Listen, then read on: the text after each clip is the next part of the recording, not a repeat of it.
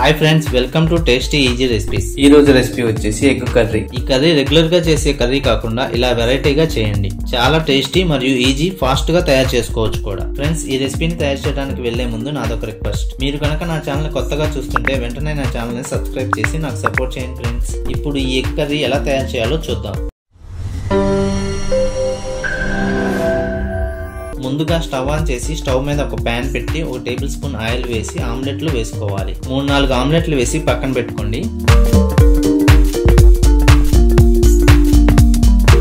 ఇప్పుడు మరొక ప్యాన్లో రెండు టేబుల్ స్పూన్ ఆయిల్ పోసి ఆయిల్ హీట్ అయ్యాక రెండు పచ్చిమిర్చిని ఇలా చిన్న చిన్న ముక్కలుగా కట్ చేసి ఆయిల్లో వేసి ఫ్రై చేసుకోండి. రెండు మూడు ఉల్లిపాయలని ఇలా చిన్న చిన్న ముక్కలుగా కట్ చేసి ఆయిల్లో వేసి ఫ్రై చేసుకోవాలి. ఇందులో పావు టీ స్పూన్ పసుపు పావు టీ స్పూన్ అల్లం వెల్లుల్లి పేస్ట్ వేసి కలుపుకోవాలి.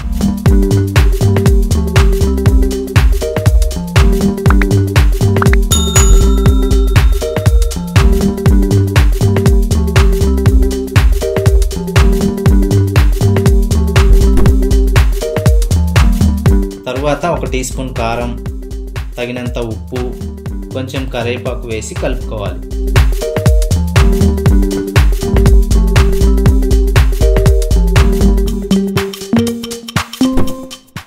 ఒక గ్లాస్ నీళ్ళు పోసి కొంచెం సేపు ఉడకనివ్వాలి.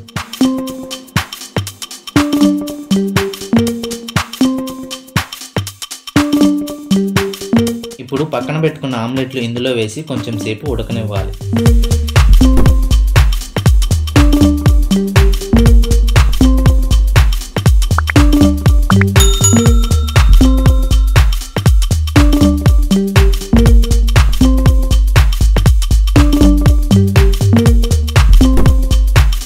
ఇప్పుడు కొద్దిగా కొత్తిమీర చల్లుకొని ఒక ప్లేట్లోకి తీసుకొని సర్వ్ చేసుకోవడమే. చాలా టేస్టీగా ఉండే ఎగ్ కర్రీ రెడీ.